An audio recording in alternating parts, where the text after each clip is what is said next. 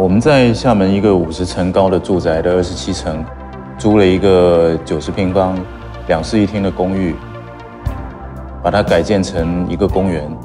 只有这栋楼的居民可以使用。它的租金是一个月是一千七，就是毛坯房。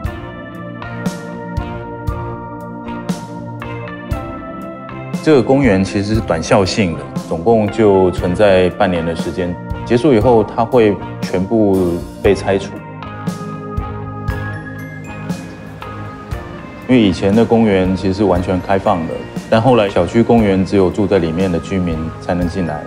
我们就用了一种更极端的方式，希望可以引起一些关于私有制的公共空间的讨论。我们不想要做一个精致的公园，我们其实还是希望它保留一些野生的东西，没有改变原来的两室一厅的格局，只是在呃原本的它的墙体开了一些门洞，运了大概十几个立方的土之后，就是做防水跟排水、垫高跟覆土。有大概七八种的植物，包含比如说香茅草、棕竹或散尾葵、桂花树这些，其实是想要让它有一个自然生长，然后可以野一点。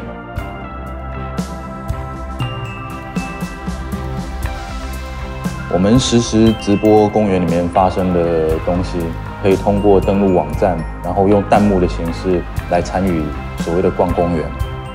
一个小公园。也许可以也做一个小的相亲角，是让一些年轻人来表达他们自己的婚姻观或者是爱情观。那次相亲角大概连人带狗来了三十几个人，